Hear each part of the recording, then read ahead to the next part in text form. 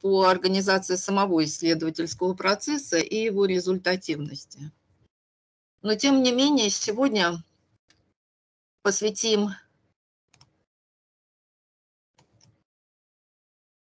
два часа разговору о других сторонах деятельности университета. Рассмотрим деятельность университета как издателя и решение практических задач в этой области, издателя научных журналов я имею в виду, и деятельность по продвижению ученых университета э, в редколлегии внешних авторитетных журналов. Оба эти направления непосредственно э, являются составляющими академической репутации университета, безусловно. И если первое направление, это вот развитие собственных научных журналов, э, позволяет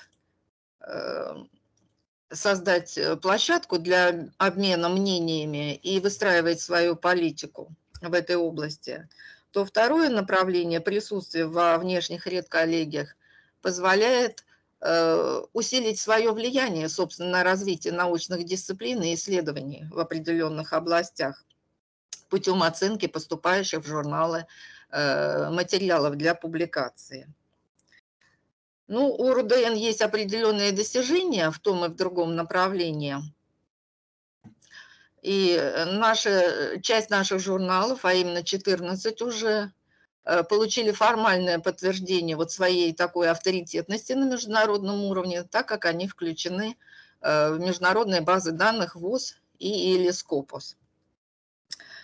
И тут, как говорится, наши аппетиты растут, мы хотели бы распространять свое влияние и продвигать как можно больше журналов и делать их Э, ну, повышать их признание на международном уровне. А по второму направлению, да, мы имеем определенные тоже достижения.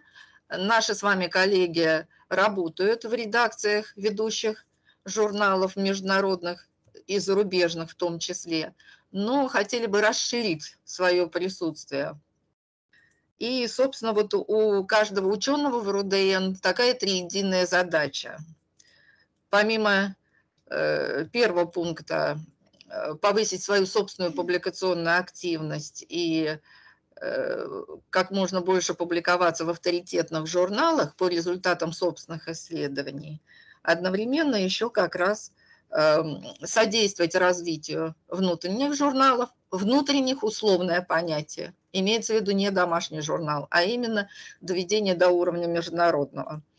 И по возможности работать в редколлегиях внешних журналов.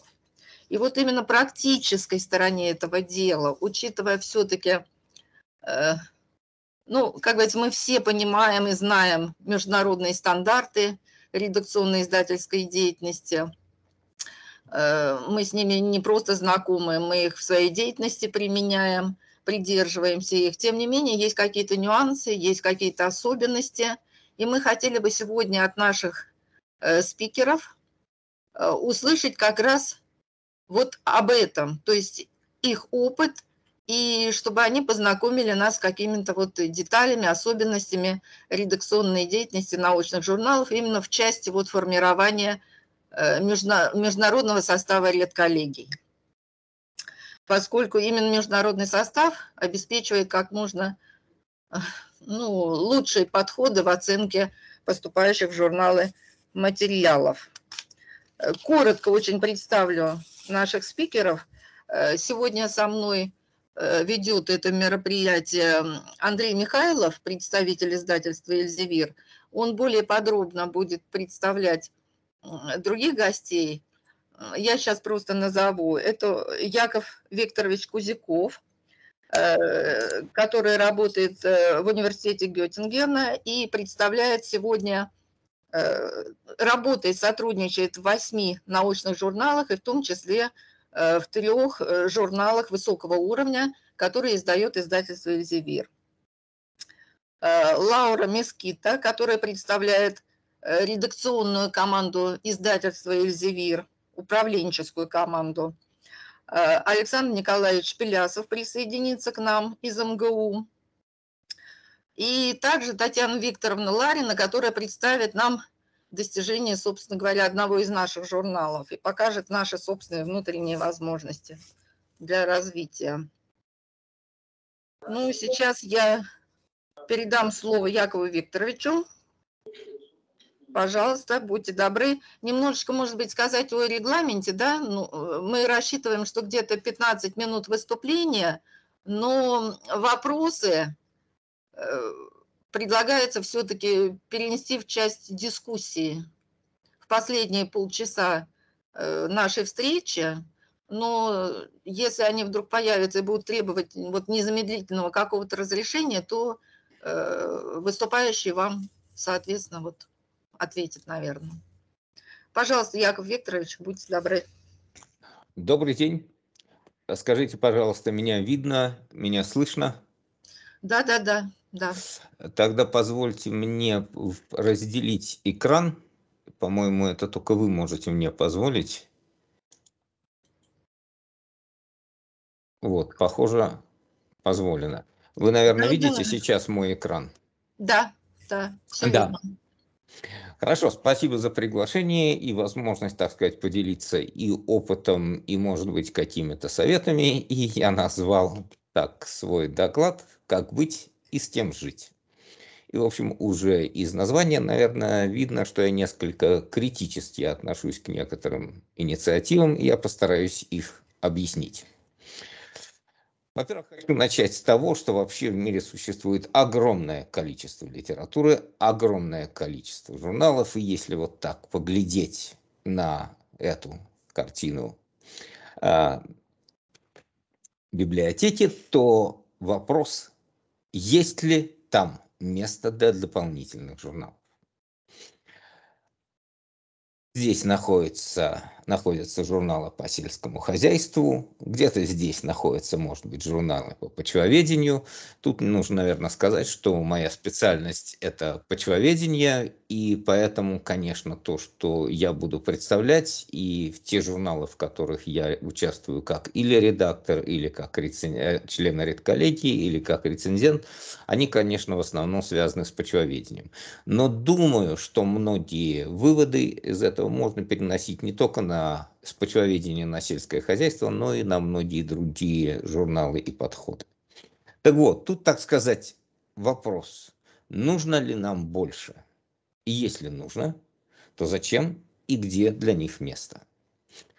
В этой таблице, мне ее не обязательно подробно читать, я собрал примерно одну четверть лучших журналов по почвоведению и они расположены в порядке убывания импакт-фактора. Думаю, что всем присутствующим не нужно объяснять, что это такое, как считается. В общем, это, так сказать, влиятельность журнала, выраженная в каких-то единицах. То есть, как этот журнал цитирует, а точнее статьи из этого журнала. Причем вот почвоведение вроде бы достаточно узкая наука, во всяком случае, как кажется, наверное, это со стороны. Это одна лишь небольшая часть сельского хозяйства, одна лишь небольшая часть из environmental sciences.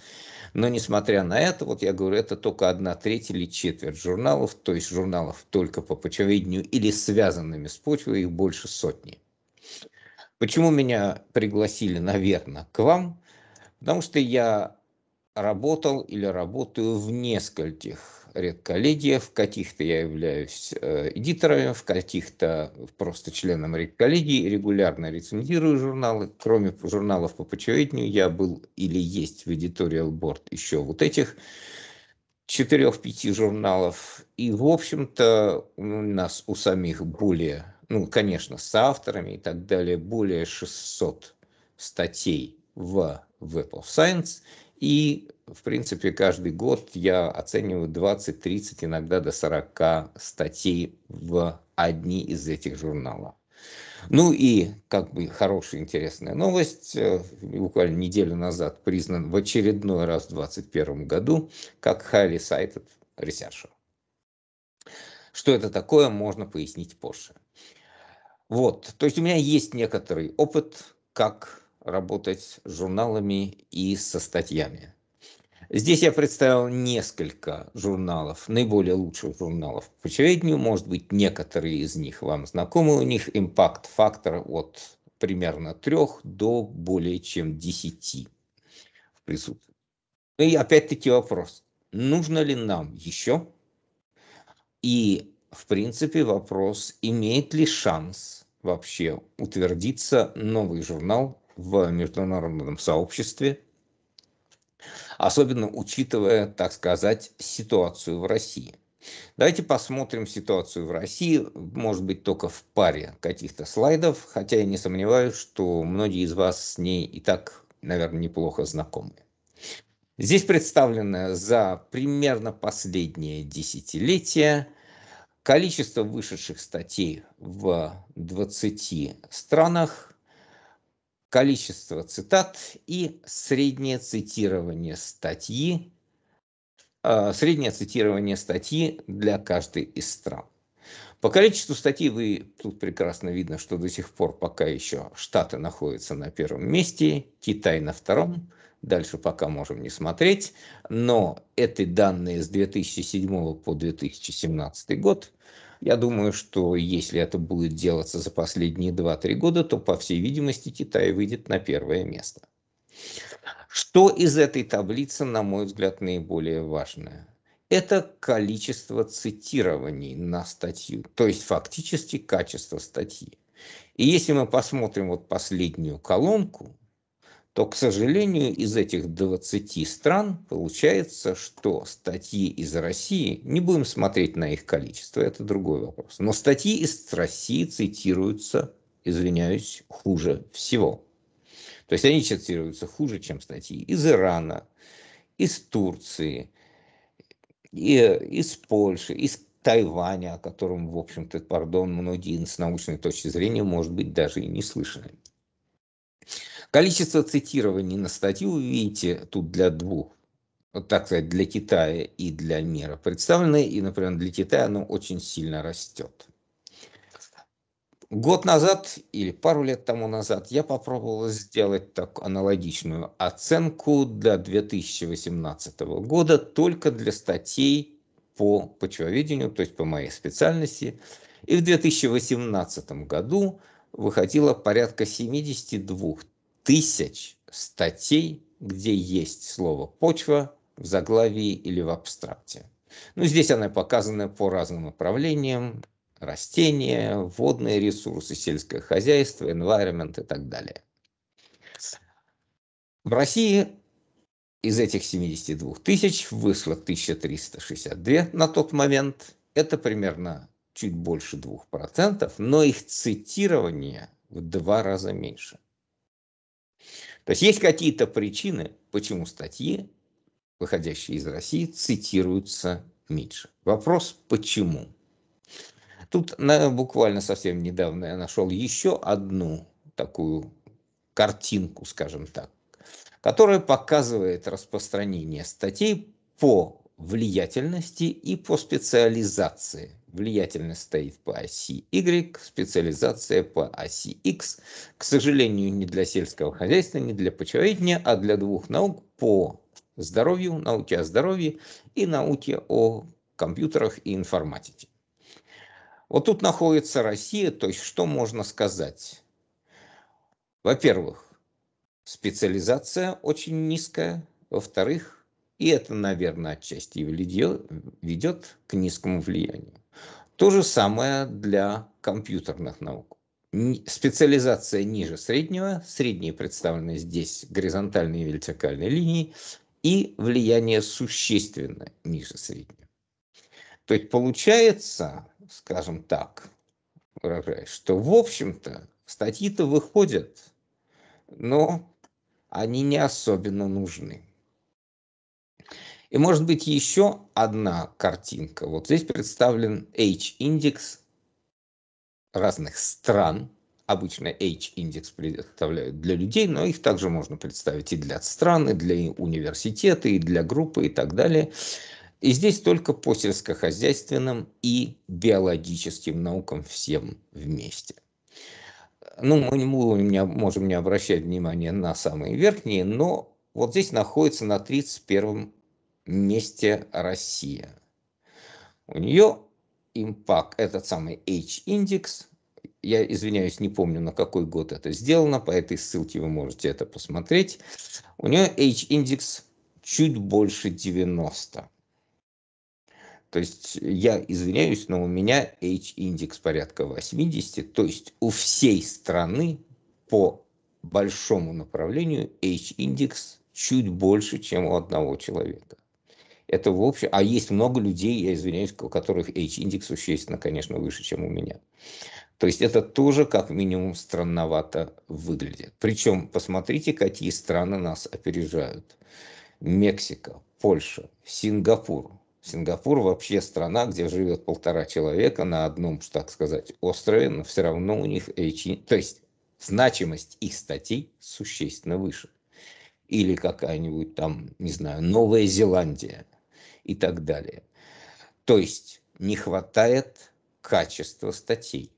А H-индекс, в принципе, показывает не только качество и количество. То есть тут два момента, и качество, и количество. На мой взгляд, причины этого связаны с публикациями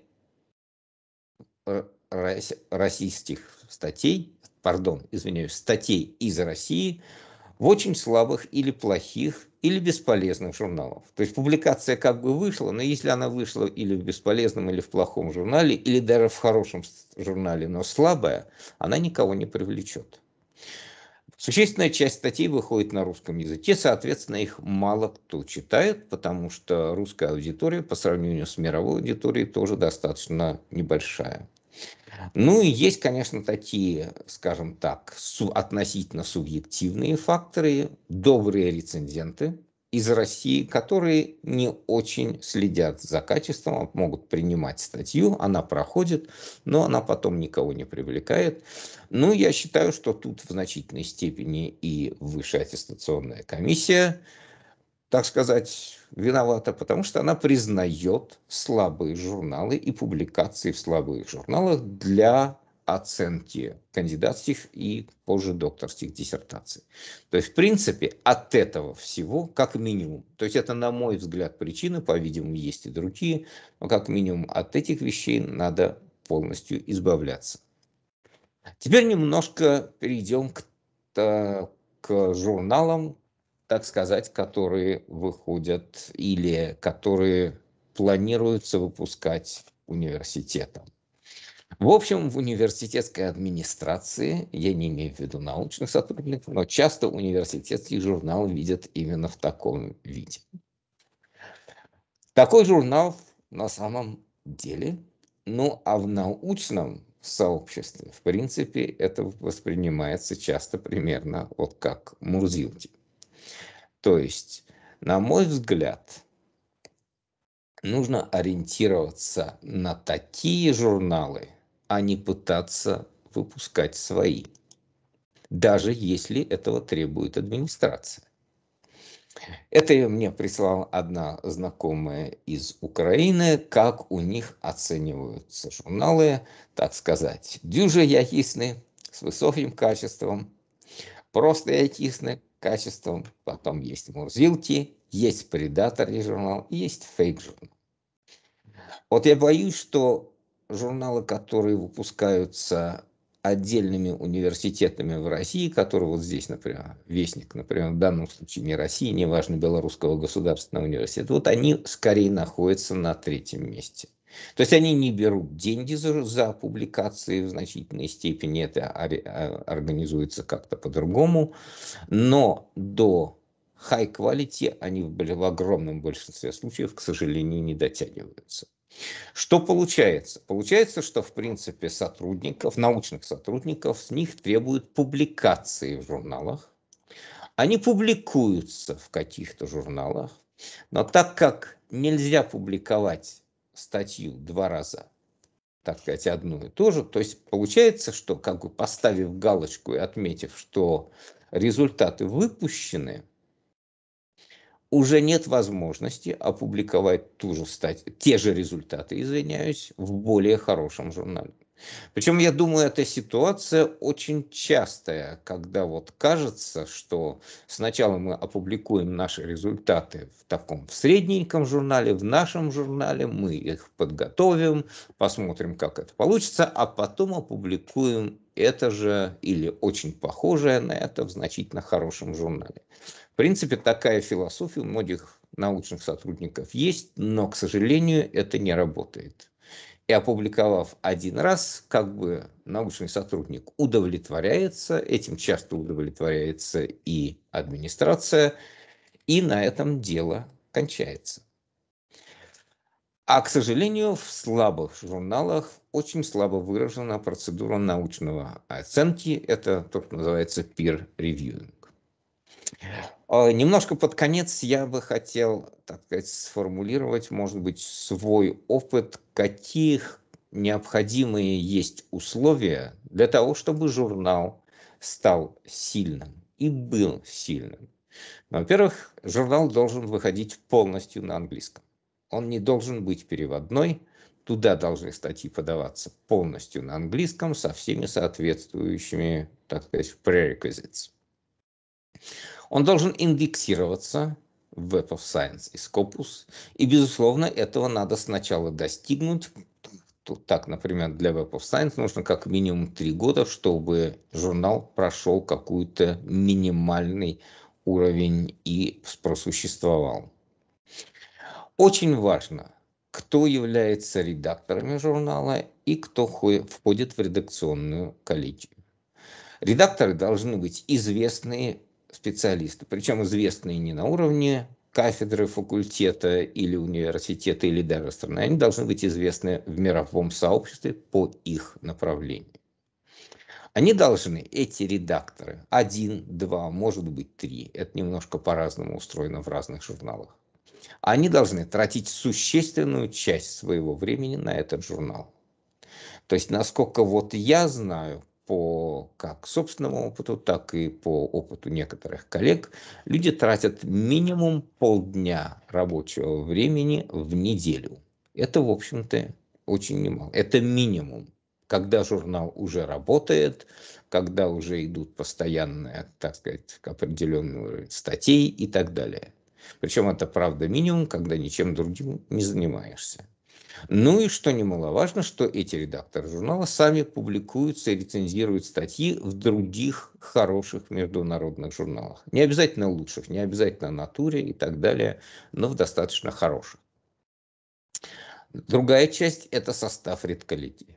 Опять-таки это должны быть, с одной стороны, известные в мире специалисты, с другой, по тем же самым причинам, которые я и назвал наверху, ну и с другой стороны, это должна быть отчасти увлеченная, известная молодежь. То есть это не значит, что это должны быть аспиранты, но люди на уровне постдоков, у которых уже есть, так сказать, собственные десяток, полтора-два в работ в хороших журналах, и которые уже прошли определенную, так сказать, школу, как рецензируют их рецензируют сами. Причем молодежь важна еще с точки зрения, что она немного более злая, нежели чем более старшие товарищи, так сказать, и более жестко может, э, так сказать, рецензировать статьи, несмотря на то, что, в принципе, конечно, у молодежи может быть менее широкий кругозор, но, так сказать, иногда и злости хватает. А что еще нужно иметь в виду для необходимого условия журнала? Что в тех журналах, которые я в самом начале представил, более 70% поданных статей отклоняются. То есть это не значит, что их 70, их может быть 80, их может быть 85. Э, в самых лучших журналах отклоняют там 99% поданных статей. Но будем исходить, допустим, хотя бы из 70%.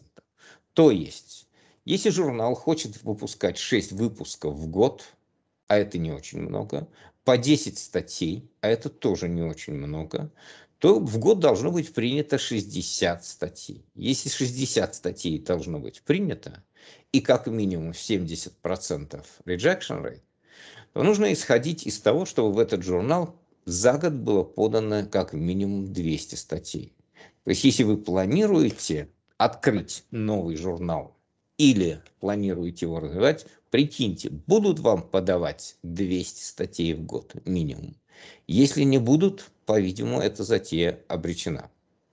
Причем редактор должен иметь, так сказать, опыт в течение 5 или 10 минут отбрасывать примерно половину поданных статей на основе там трех, четырех, пяти критериев, которые достаточно простые. Но для этого нужен и определенный опыт. То есть это необходимые условия. То есть это тут работает так называемый принцип Анны Карениной. То есть если нет хотя бы одного из этих условий, по-видимому, лучше не пробовать. Журнал, по всей видимости, не разовьется.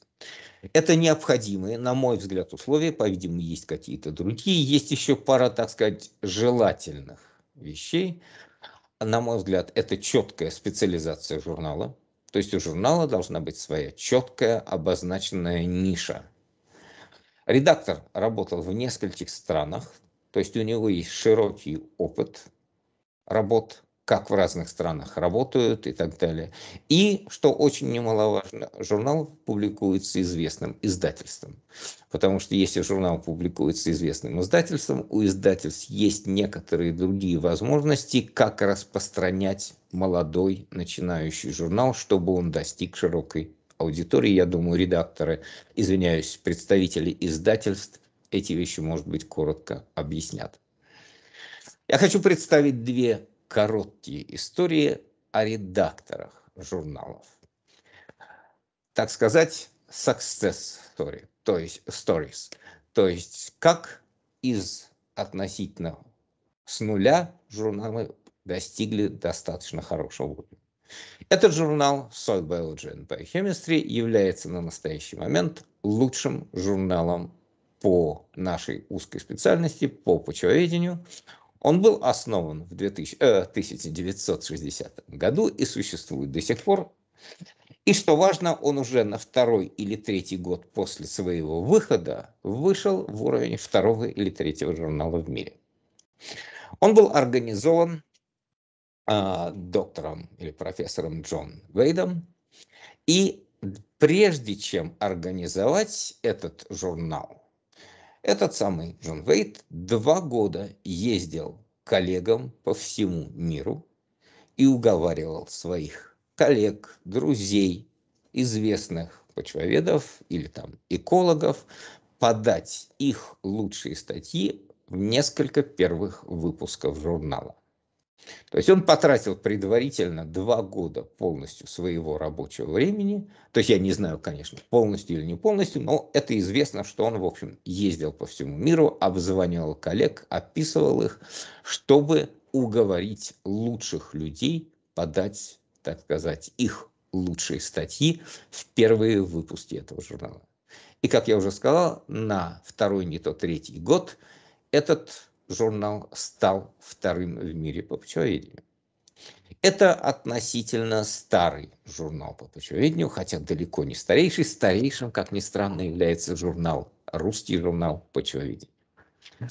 И вот второй пример – это журнал «Ризосфера», который, у которого всего на настоящий момент всего лишь пять лет э, его существования. Он был создан профессором Сина Адл. А, что в данном случае характерно? Во-первых, Сина очень специализировал журнал, то есть нашел такую нишу, которая не покрывается ни одним другим журналом.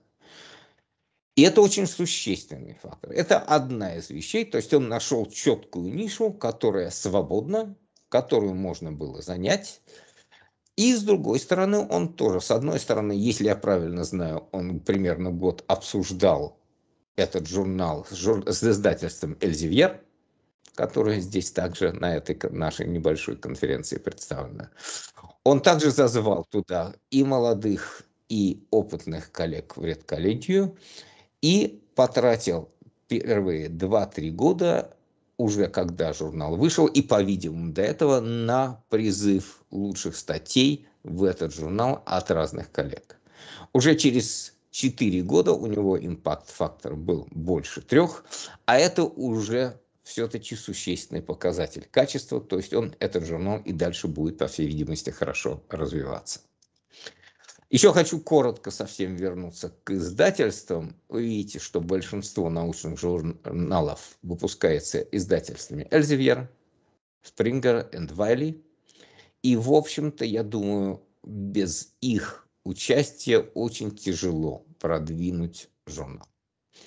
Ну и под конец, может быть, несколько советов на то, чтобы учесть их в дальнейшей работе, так сказать, как быть, возвращаясь к первому вопросу. Заставляйте своих сотрудников печататься только в лучших журналах. Более того, их надо наказывать за статьи в плохих журналах.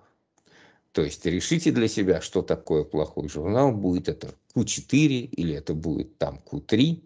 И за статьи в плохих журналах их надо не допускать. Как наказывать и так далее, это уже администрация университета запросто придумает. Второе, это, конечно, нужно вводить своих сотрудников в редакции хороших журналов. Но, к сожалению, у большинства нет особой ответственности за рецензирование. То есть, как известно, за рецензирование не платят. Рецензирование – это, так сказать, э, скажем так, общественная нагрузка, и к ней очень часто и, в общем-то, в большинстве случаев относятся достаточно халатно. И тогда редакторы журналов, они видят, как люди, приглашенные на рецензирование, относятся, какие рецензии они делают, и, соответственно, у них часто нет оснований приглашать сотрудников, которые делают слабые рецензии или не жесткие рецензии. Жесткая это не значит негативная, она может быть позитивной, но жесткой э, и подробной. И таким образом редакторы журналов часто не будут приглашать сотрудников, которым дали на проверку, скажем так, несколько статей в течение последних двух-трех лет. То есть зачем их приглашать, если они не улучшают качество журналов. Я знаю, что в некоторых университетах, в частности в российских, идет оплата или доплата каких-то премий по статьям. Я думаю, это, в общем, это должно скорее идти по цитированию. Наверное, без самоцитирования, но это опять-таки уже подробности. То есть, если оплата есть, она должна идти, в общем-то, на мой взгляд, по цитированию. А цитирование в хороших журналах всегда существенно лучше, нежели в плохих. На мой взгляд, в общем-то, локальные журналы, и в частности журналы отдельных университетов, на мой взгляд, они вредят науке, потому что в них в среднем публикуются слабые статьи, и они, на мой взгляд, вредят, в общем-то, рейтингу университета. Вы можете к этому, так сказать, моему представлению относиться, конечно, как считаете.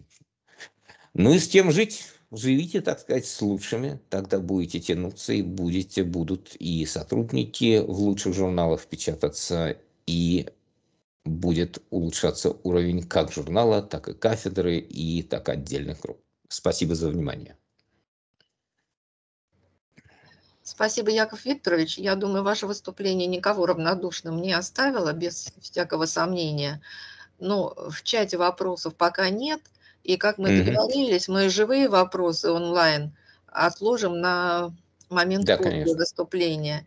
И сейчас я предоставлю слово Татьяне Викторовне Лариной, она как раз нам расскажет о том, как вестник университета продвигался на более высокий уровень и завоевал свое место среди авторитетных журналов. Пожалуйста. Э, здравствуйте, э, приветствую всех участников нашей сегодняшней встречи. Я Ольга Евгеньевна просила меня рассказать только о том, как мы создавали нашу редколлегию, но, конечно, я могу затронуть и другие вопросы. Татьяна Викторовна, простите, пожалуйста, да, безусловно, это важнейший вопрос, который мы сегодня обсуждаем, так что спасибо вам большое. Но многие вопросы, конечно, очень связаны, и я с огромным удовольствием прослушала э, выступление Якова Викторовича, потому что очень многие вещи действительно перекликаются с нашим личным опытом, и они чрезвычайно интересны. Вот в частности, вначале я начну с нескольких комментариев. Татьяна Викторовна, Да. Прошу прощения, прошу прощения, здравствуйте, это Андрей Михайлов. Да, Э, Мне здесь просто э, пишет следующий наш спикер, э, Лаура, о том, что просит, можно ли поставить ее сейчас, поменяться своими местами, потому что там э, у нее что-то срочное, какие-то потом дела, если вы не против. Абсолютно. Не против, да? Спасибо большое, да, я вот, э, она тоже извиняется, сейчас просто написала мне отдельно. Никаких Ага. проблем, спасибо. Даже- Понял, спасибо. Да, я тогда сейчас э, сообщу. Э, Laura, um, uh, if you want, you can uh, join us now with your uh, presentation. Uh, we cannot hear you yet. Please switch on your yes, microphone. I see the, yeah, hi. Thank you so much, Andre. Um, sorry, so this means a slight change. Maybe this was already explained in Russian, but it means a slight change in the schedule. Um, so I'll just be speaking uh, before the next person, because I have a meeting after this. Um, let me just pull up my presentation. We have uh, already introduced you slightly, but you can also once again introduce yourself and then uh, please uh, go on. And just a reminder to every uh, everyone in the in the virtual room that this presentation will be in English.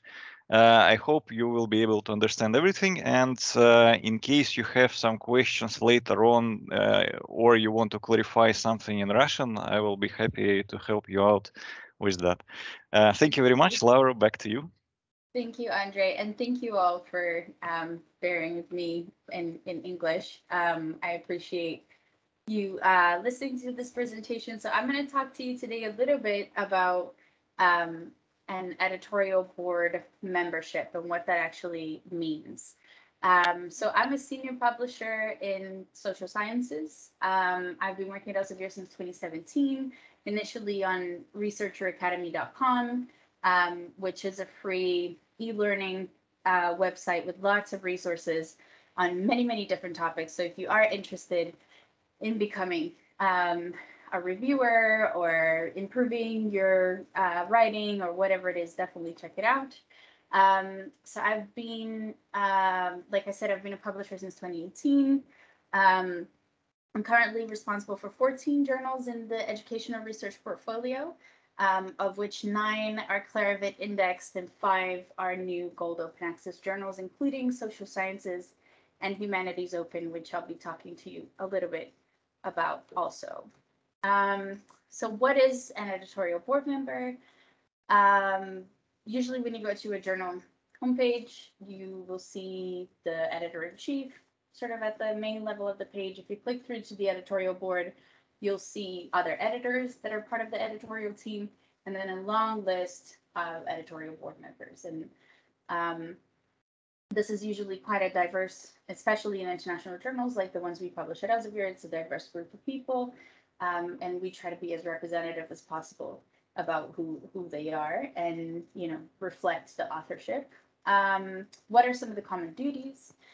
Editorial board members do reviewing for the journal. Sometimes that's sort of implied that they are, you know, a backup group of people that you can go to. Sometimes it's a requirement. It's becoming more common because it's getting harder to find good reviewers. That the role comes with some kind of, um, you know, uh, agreement that you will do three to four to five reviews a year.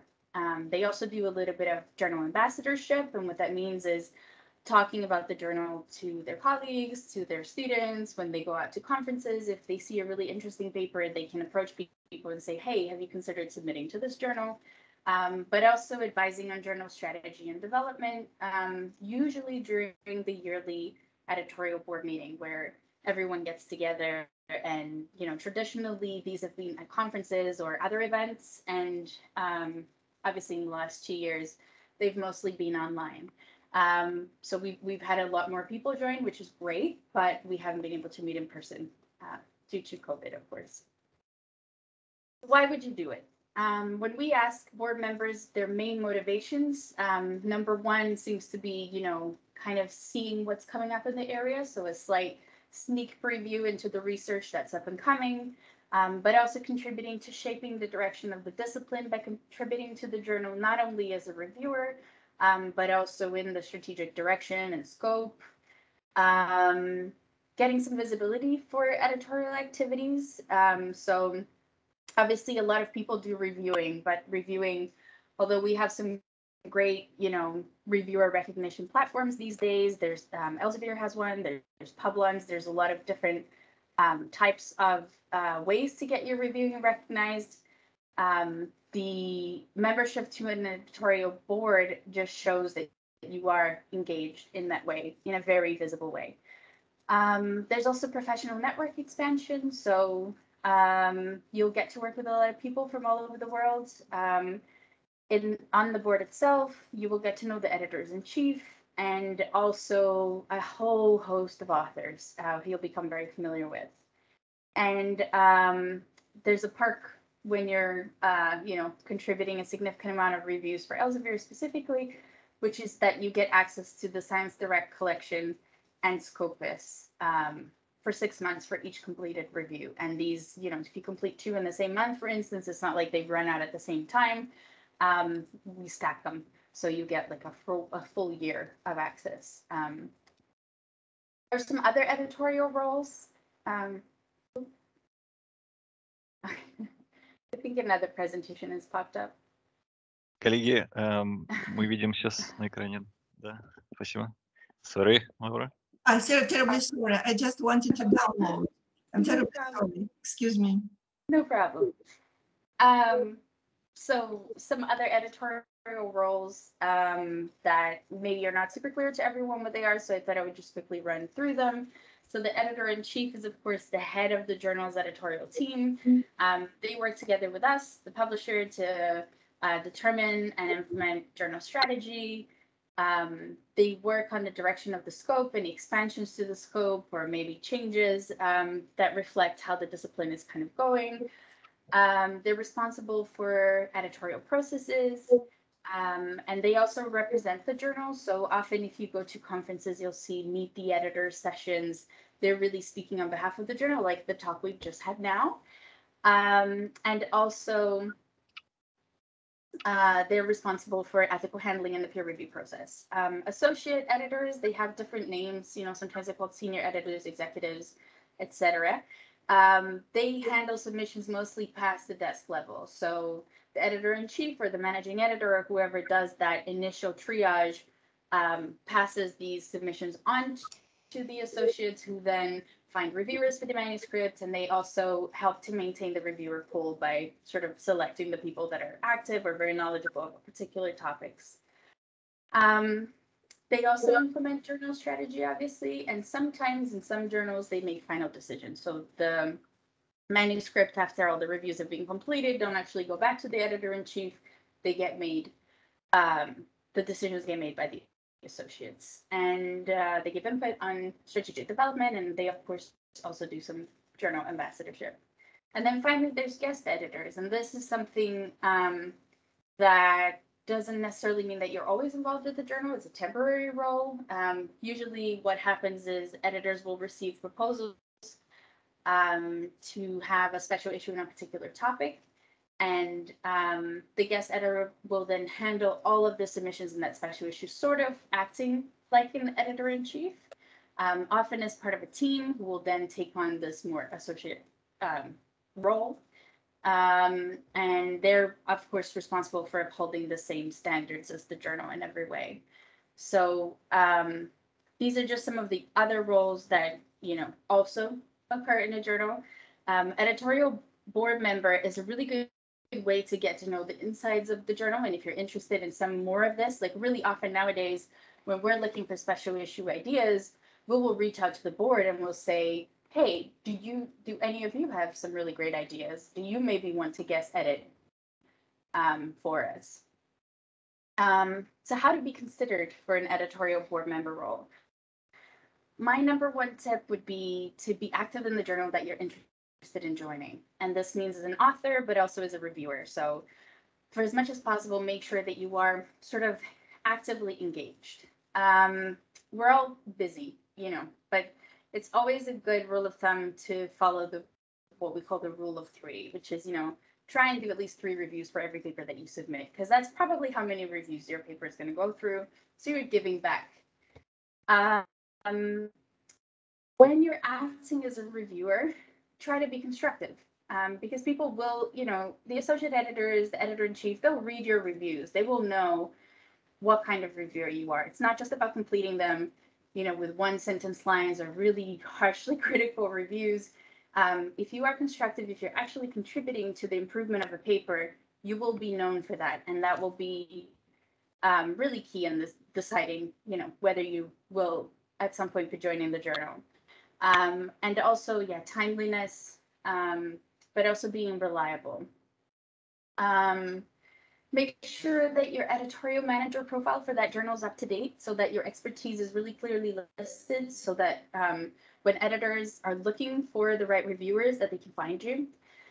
Um, and you, you know, realistically, you don't accept every review request you get. I think academics get really, you know, bombarded sometimes with review requests. Um, but if you can't accept, just remember to not let the request expire because the requests will normally automatically expire between two to three weeks after they were sent to you. But that just delays the peer review process. And so when we're when someone gets in touch with us, and this happens really often, and they'll say, "Hey, how can I be a board member of your journal?" The first thing that we'll do is the due diligence of looking them up in the system. And um, let's say they were asked to review 10 times and they only accepted two times and the other time they let it expire, that just doesn't look so great because we know for a fact that you have caused a bit of a delay on manuscripts. So um, just try to remember it's totally fine to say no, just say no. That's definitely uh, helpful. And once you are confident that you have made this kind of contribution for a journal, um, you can then email the publisher, the editor in chief, or associate editor and inquire about whether that might be a role for you. Um, we, like I said, you know, we always do the due diligence. We always make sure to look people up and see if they would be a good fit. Um, and uh, that would be, unless you were, you know, invited to become a board member, a lot of the times people are, that's one way that you can proactively um, engage and try to be considered. Um, wanted to say that this, you know, this bit of advice here really applies to possibly the more prestigious journals. Um, another thing that we look at always is, um, you know, where people are at sort of in their career. So a very prestigious journal would very likely consider people from associate professor level and up, whereas um, a more mid-tier quality journal or a journal that is brand new would be a lot more open to earlier career researchers, so PhD, postdoc level. And um, that brings me to my next point, Social Sciences and Humanities Open, which is a gold open access journal. Um, it's been going since 2019. Um, Social Sciences and Humanities Open is what we call a broad scope journal, so it covers a lot of different areas.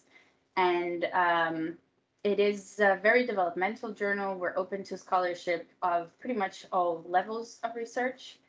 And um, we do focus on these key sort of five sub areas, which are health, psychology, and community, uh, environment, development, geography, and politics, education, society, and communication, economics, arts, and humanities. Um, and we are actually currently recruiting for editorial boards. So um, in our editorial board, the review requirement is three reviews a year. So if you think you can commit to that and you would like to get some, you know, hands-on experience on what it's like to be an editorial board member, um, don't hesitate to get in touch. I put my email address there. Um, and um, you are more than welcome to, to contact me for it. Um, I, this was pretty much all that I wanted to say. I don't know if there are any questions in the room. I don't know if they will be in English. Um, I'm happy to hang around for a minute. Um, but yeah, I don't know, Andre, what is. Um, yeah, thank you very much, Laura. Let's uh, uh, let's wait for some uh, questions, maybe. Коллеги, если у вас есть вопросы, пожалуйста, задавайте Лауре.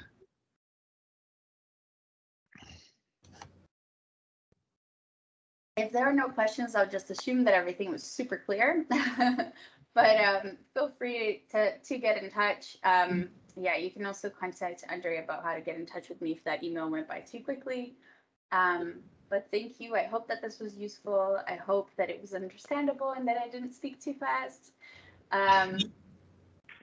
Um, uh, everything was great. Thank you very much, Laura. I think it was a very valuable presentation, and especially the last slide with the invitation to join the editorial board. And I hope that uh, colleagues from RUDN will uh, submit their proposals.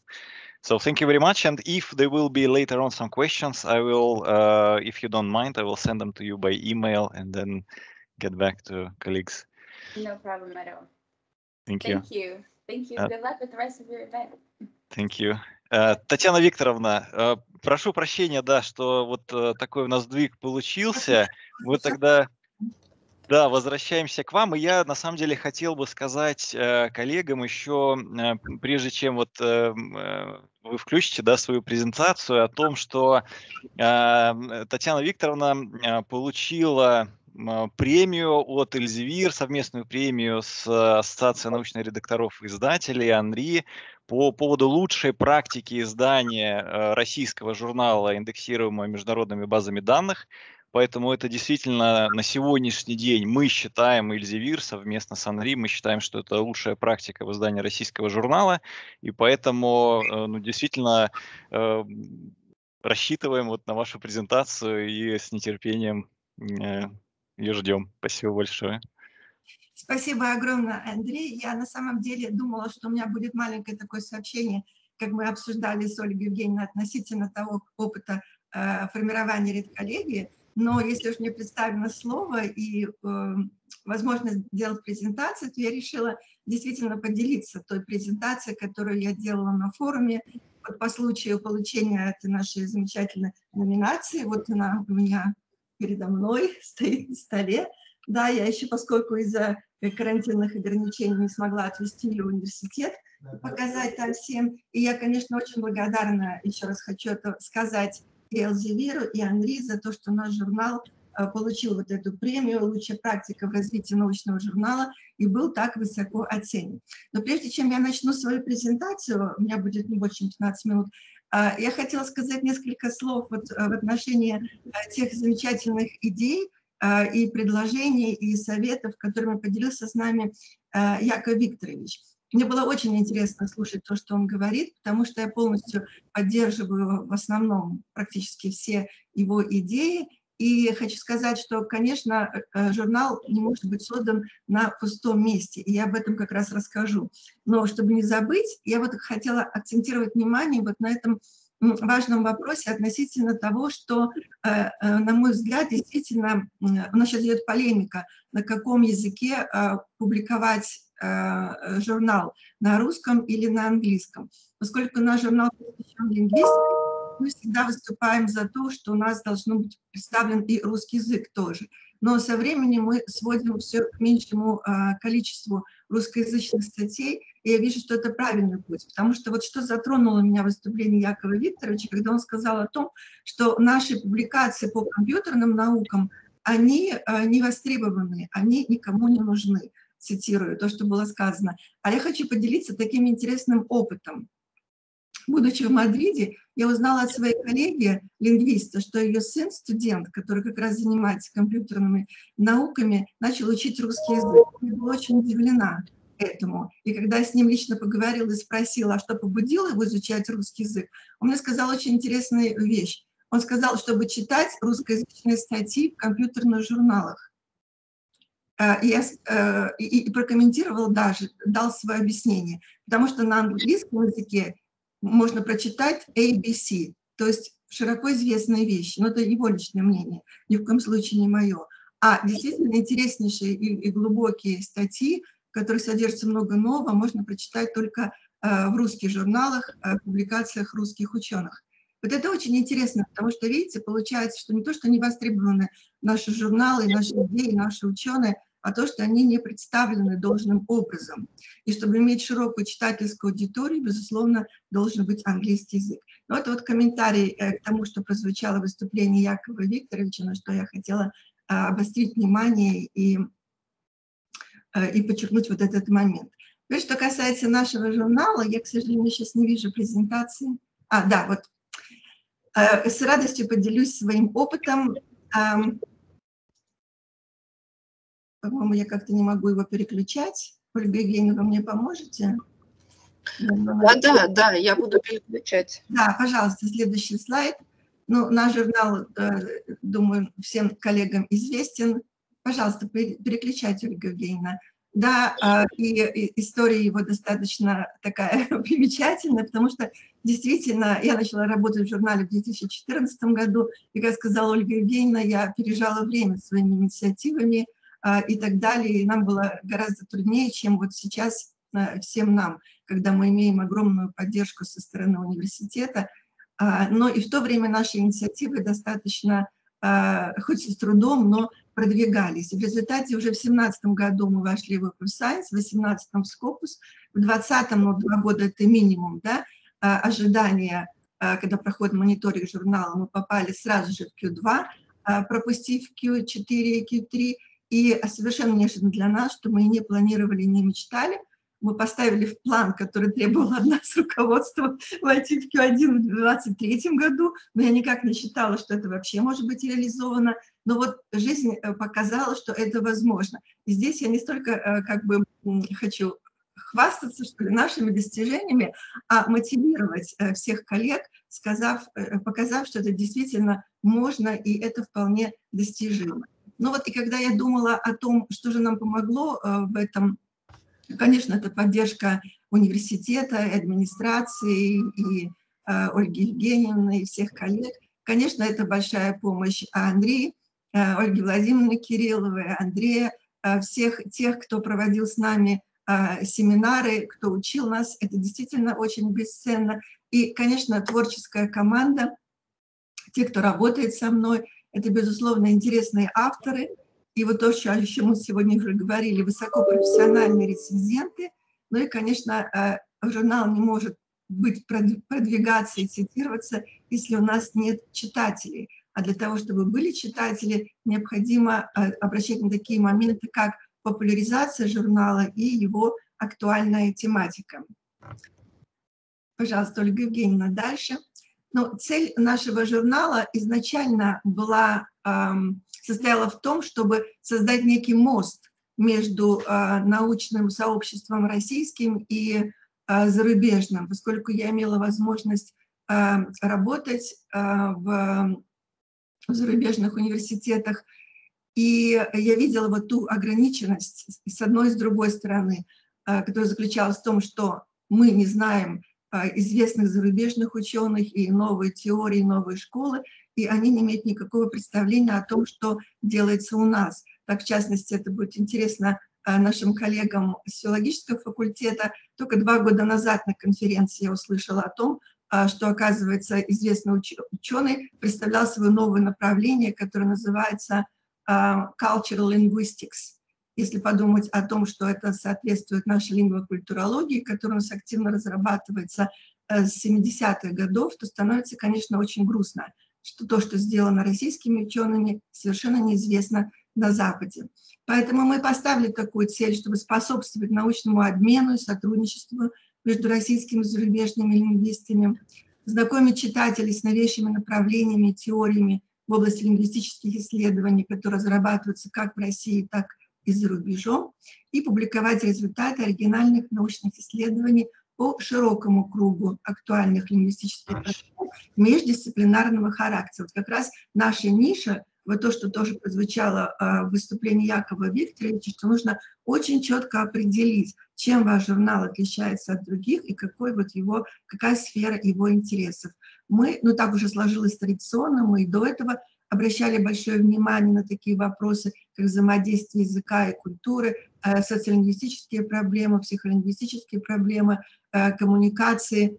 Э, и вот вы видите те сферы, у нас широкого направления журнал, и поэтому нам не очень трудно собирать статьи. Может быть узкий журнал, который действительно получает большую востребованность, потому что нет таких журналов, но плюс широкого журнала, но тоже, который имеет четко определенный фокус. То есть мы не занимаемся системной, структурной, как бы традиционной лингвистикой, а находимся, а, а обращаем внимание, а, интересуемся именно этой современной парадигмой, в центре которой человек, язык и коммуникация. Ну и, как я уже сказала, а, а, невозможно сделать хороший журнал без хорошей редакционной коллегии. Нашей редколлегии мы действительно очень гордимся. У нас 30 э, членов, но мы э, время от времени добавляем э, новых. А среди них 11 российских специалистов и 12 зарубежных. И вот на этом слайде я хотела показать, что у нас представлен, можно сказать, весь мир от Соединенных Штатов Америки до Японии, Китая, Индии. А, и, конечно, а, у нас есть специалисты из известных а, университетов Великобритании, из многих стран Европейского Союза. Вот у нас, да, и, и, и большинство из них, я бы сказала, являются очень известными учеными, которые входят вот именно в такие топовые рейтинги ученых, и их можно увидеть в качестве пленарных докладчиков крупнейших международных университетов Э, семинаров, извините, конференций и симпозиумов. А, и, э, конечно, э, наши авторы,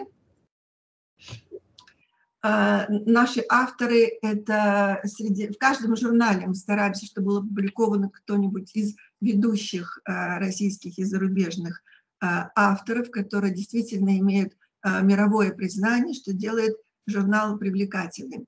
И, конечно, вот здесь я вернусь к тому, что говорил э, Яков Викторович, что на пустом месте это невозможно. Не пригласить эм, известных ученых, которым было бы интересно сотрудничать с нашим журналом, не пригласить э, известных э, авторов, специалистов в определенной области.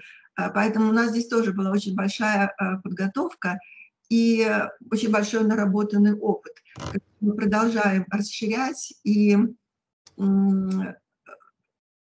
через такие мероприятия, как, то есть активно участвовать э, в различных конференциях, где мы делаем презентации наших журналов.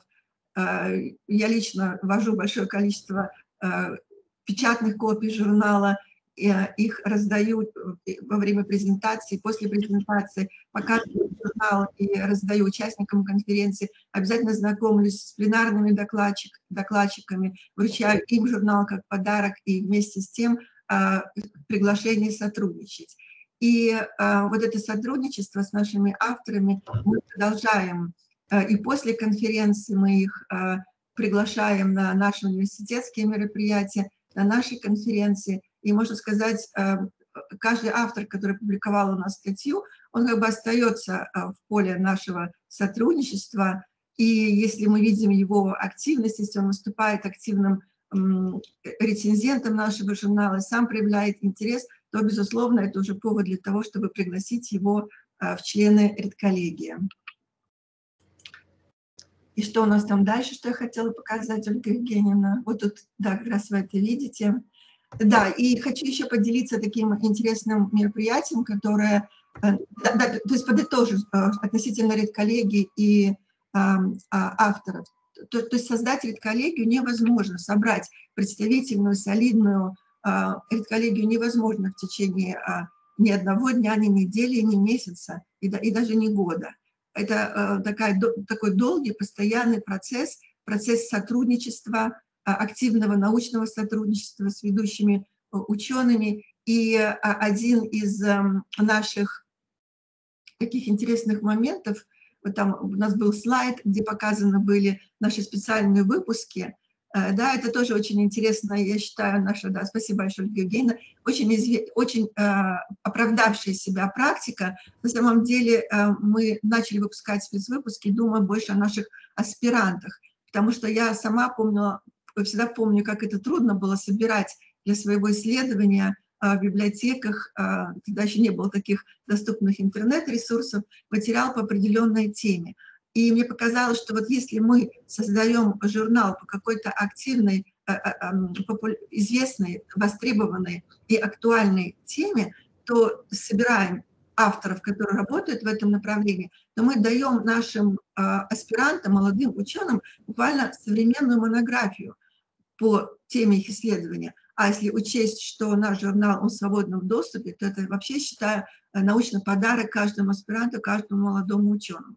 А потом оказалось, что это действительно очень полезно и для самого журнала, потому что, выбирая какую-то актуальную тему, мы приглашаем в качестве гест-эдита, приглашенного редактора, какого-то известного ученого, который работает в данной теме. И вот здесь как раз это оказалось легче, чем а, пригласить ученого с извест, известного со своей статьей, потому что, как мне показалось, что а, это такой знак признания заслуг ученого, а, от которого трудно отказаться. И, как правило, мы получаем согласие. И потом уже пригласив вот этого известного ученого, мы, конечно, не просто приглашаем его, мы разрабатываем определенный план, идеи этого журнала, и даже если есть возможность кого-то приглашаем из наших коллег, кто готов выступить, и таким образом э, показываем ему серьезность нашего подхода к этому проекту. И когда получаем уже согласие, тогда э, вступают, э, как сказать, в силу э, ресурсы уже самого приглашенного редактора, который э, приглашает тех коллег, которых даже мы не знаем. И, и вот, например, наш последний номер – это эмоционализация медиадискурса, да, где были опубликованы а, очень известные, интересные статьи, среди них много а, известных авторов. И таким образом, а, мне кажется, что мы а, повышаем интерес а, к нашему журналу и способствуем его цитированию, потому что цитирование возможно только тогда, когда есть известные авторы, потому что здесь наши читатели цитируют их, и второе, это сами авторы в дальнейшем цитируют себя свои публикации в нашем журнале, высоко рейтинговых журналах. Поэтому действительно я считаю, что это оказался очень интересный опыт. Но и последний э, наш э, опыт, это опыт этого года. Следующий слайд, пожалуйста, Ольга Евгеньевна. Это нам пришла такая мысль, не чуть-чуть выше, по-моему, нам пришла такая идея о создании э, вебинаров таких онлайн-семинаров. Здесь подтолкнуло нас то, что мне всегда очень жалко, когда... Да, кстати, вот это есть Conversations with Readers and Authors. Спасибо. Мне всегда очень жалко, когда наш последний журнал висит на сайте, это прекрасно, все видят его содержание, наших прекрасных авторов, статьи которых мы ждем порой не полтора даже, а два и два с половиной года. И вдруг через э, три месяца выходит новый журнал, и этот журнал уходит в архив. И вот вопрос, а кто помнит, а кто знает, и кто найдет эти статьи. И поэтому мы думали о том, как же нам вот расширить эту видимость журнала и рассказать о том, какие авторы у нас печатаются.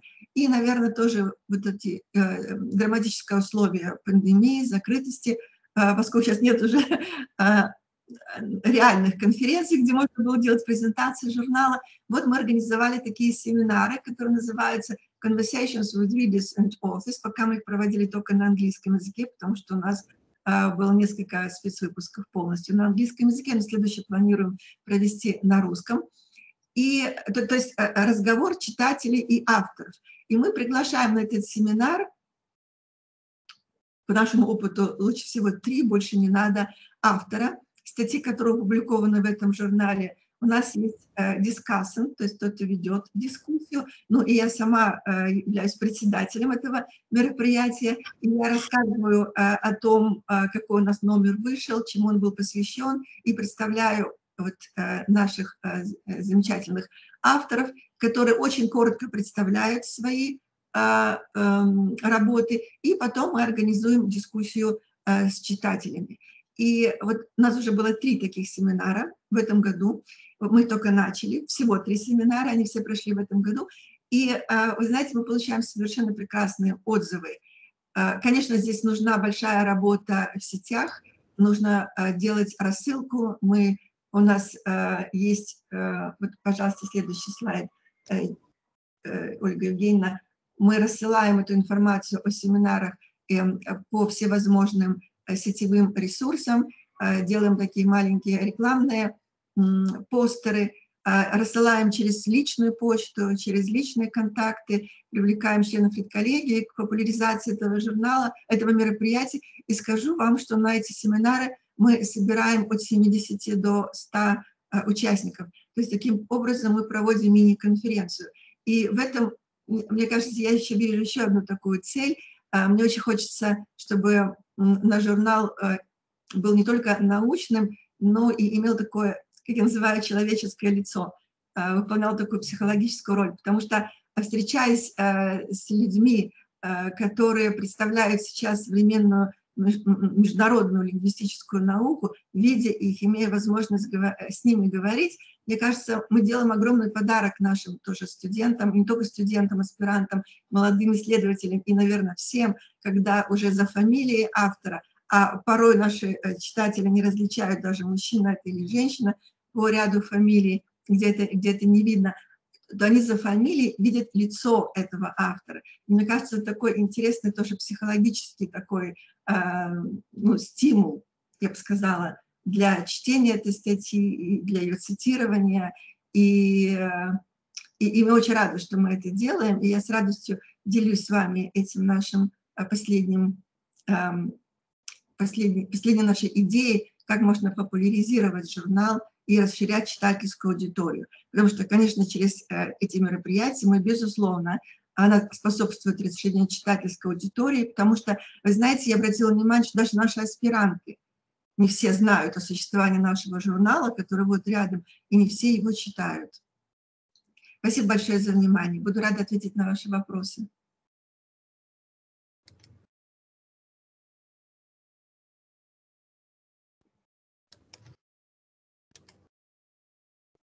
Спасибо большое, Татьяна Викторовна. Коллеги, если есть какие-то вопросы, пожалуйста. В чате вопросов не вижу.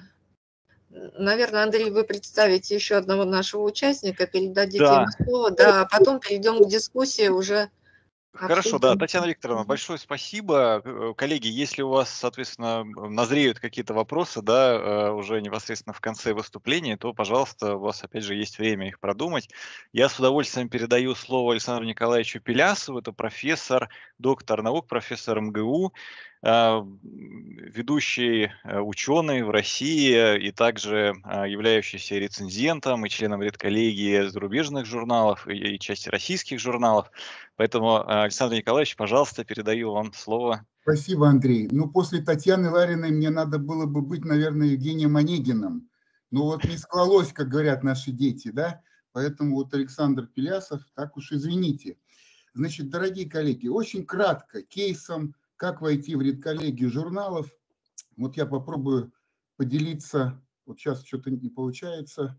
Значит, нажали на кнопку, чтобы выключить экран. Там вот соседняя, которая со стрелочкой отмена, вверх. Отмена. А, так, стрелка вверх. Сейчас, секунду. Стрелка вверх. Дальше, значит, и уже и, можно. Да, и дальше уже выбрать непосредственно файл, да. А, хорошо, хорошо. Так, коллеги, видите, да? Еще нет. Пока нет. Так, Так. сейчас, секунду. Попробую со своей стороны как-то помочь. Участники. Да. уже- Ну, если нет, то я расскажу вам на словах, дорогие коллеги, чтобы не забирать ваше время. Тут у меня не так много, два слайда. Значит, дорогие коллеги, беда пришла неожиданно. Пришел Томас Дентинхио, итальянец, и сказал, что надо делать российский спецвыпуск журнала Regional Science Policy and Practice. Если ну, можно только, Александр Николаевич, вы э, микро, э, камеру тогда свою включите, чтобы мы, так сказать, а что-то видели, фокусировались.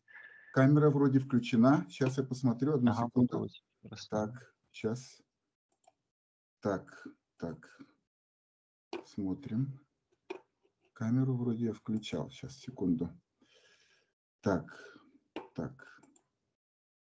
А.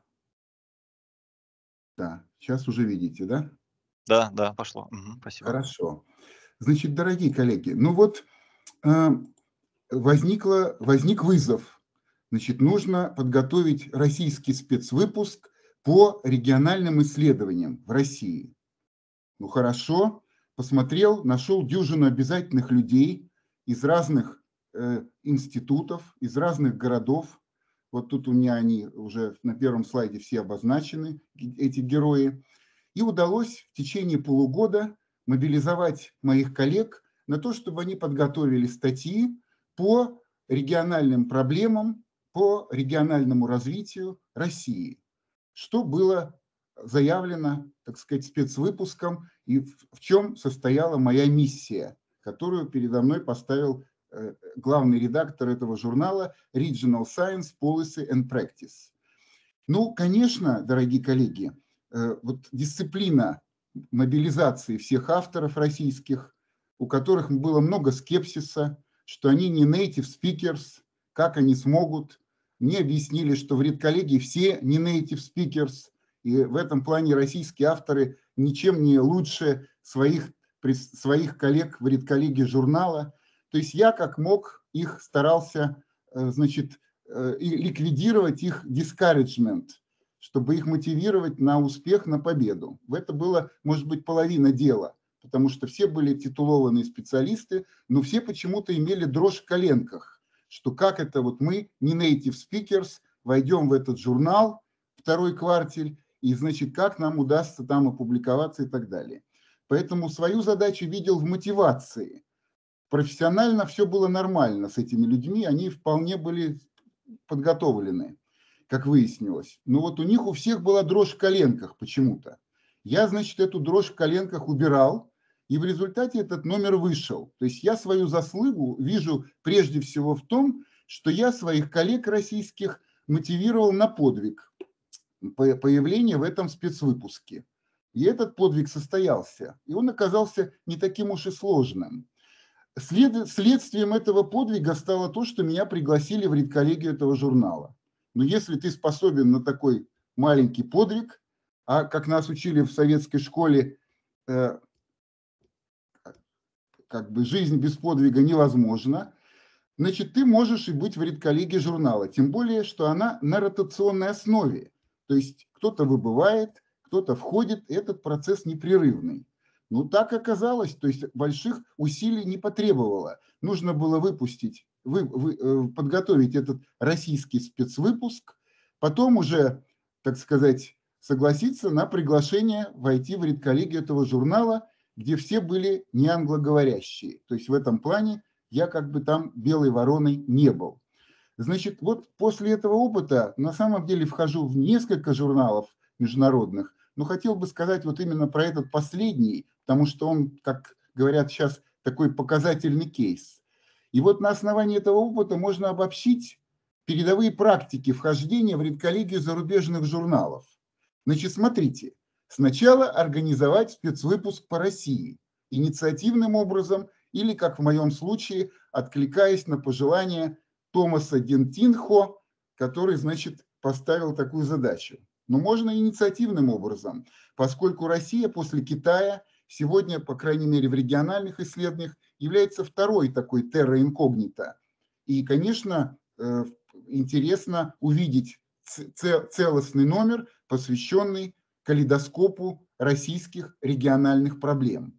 В этом плане почва наша российская продолжает оставаться благодарной для международного сообщества, интересной для международного сообщества. Значит, первое – организовать спецвыпуск в этом самом международном журнале, выдвинув инициативу или откликаясь на инициативу зарубежных товарищей. Ну, есть еще одно слагаемое в моем случае, которое мне помогло. Я в течение 10-12 лет возглавлял российскую секцию Европейской ассоциации региональной науки и уже был как бы знаком как облупленный моим зарубежным коллегам. Но это не обязательно, это как бы сказать возможное, но не обязательное условие для того, чтобы в эти редколлегии входить. Ну, конечно, быть членом международной ассоциации профессиональной в любом случае очень полезно, а может быть даже и возглавлять российскую секцию, которую вы можете сами создать, если такой профессиональной ассоциации, например, в России еще не создано. Но я уже говорил про третье условие. Надо, нужно учитывать, что многие должности в этих редколлегиях, у многих журналов, они занимаются на ротационной основе. Ну, то есть 2-3 года и методом скользящей ротации заменяются на новых членов редколлегии. Это значит, что для вас, дорогие коллеги, возникает окошко возможностей. Есть, конечно, журналы, где можно сказать, пожизненное членство в редколлегии, но, насколько я знаю, у большинства моих коллег в зарубежных журналах это ротационная основа. Конечно, четвертым фактором успеха является очная коммуникация с зарубежными коллегами, лидерами конкретных научных направлений, которые обычно входят в редколлегии статусных научных журналов. Почему очная? Ну, потому что глаза в глаза, конечно, э, проекты совместные запускаются проще, чем в Zoom, в Teams или каких других э, онлайн-коммуникациях. Поэтому очной коммуникации никак пренебрегать не стоит. И обычно, как говорят мои, соседи, мои коллеги зарубежные, все такие проекты, вхождение ваше в редколлегию или какой-то новый, э, новый конгресс или какой-то новый международный проект, они обычно учреждаются в ресторанчиках уютных. Так что вот возьмите на вооружение эту передовую практику по словам наших зарубежных коллег. Так что очная коммуникация с зарубежными коллегами, лидерами журналов – вам будет чрезвычайно полезно. Еще момент. Конечно, это, это энергия. Это ваша энергия и заинтересованность. Вот я тут написал во втором своем слайде. Естественным образом вы решите эту проблему за 7-10 лет. Ну, то есть вы будете узнаваемы в международном сообществе, с узнаваемостью будет приходить признание, увидят ваши организационные способности, доверят вам спецвыпуск, потом предложат войти в редколлегию. Это такой естественный, спокойный, меланхоличный путь длиною в 7-10 лет. Но если у вас есть амбиции, есть драйв, есть энергия, или, как говорил мой учитель Лев Николаевич Гумилев, пассионарность есть, вы пассионарный человек, ну тогда вы можете решить эту проблему за 3-5 лет. Потому что своим натиском, своей энергией вы окажетесь очень полезными международным коллегам, потому что людей с энергией всегда не хватает. И они, конечно, с радостью создадут для вас эту нишу члена редколлегии, взгромоздят на вас необходимость рецензирования массы статей, которые в этот журнал поступают, вы оказываете, окажетесь им и полезны, и почетны своим представительством от России. Это вот я написал на слайде пять таких, получается, передовых практик или факторов успеха. А сейчас, когда я слушал Татьяну Ларину, я подумал, что есть, наверное, еще два, два фактора, о которых тоже надо сказать. Они, конечно, более, я бы сказал, такие, ну, политически некорректные эти факторы, но мне хочется их назвать. Первое, конечно, это то, что когда мы сталкиваемся с международным сообществом ученых, мы сразу же осознаем особенности российской ментальности и мышления. Оно более комплексное. У наших западных товарищей, у них мышление грядочное. Оно такое узкофокусное, узкоспециализированное. И люди, которые мыслят панорамно, мыслят широко, а это вообще в хороших российских традициях, эти люди оказываются полезными, потому что они как бы дают другую перспективу другую перспективу на известные научные, организационные и другие проблемы, связанные с деятельностью международных журналов. Значит, вот эта комплексность, панорамность, она в российских коллегах привлекает, потому что наши западные товарищи очень узко, очень специализированно мыслят значит, у вас есть это конкурентное преимущество, и вы оказываетесь полезными, потому что вы вносите вот это интеллектуальное разнообразие в международное сообщество, в том числе и журнальное. Это вот получается шестая передовая практика.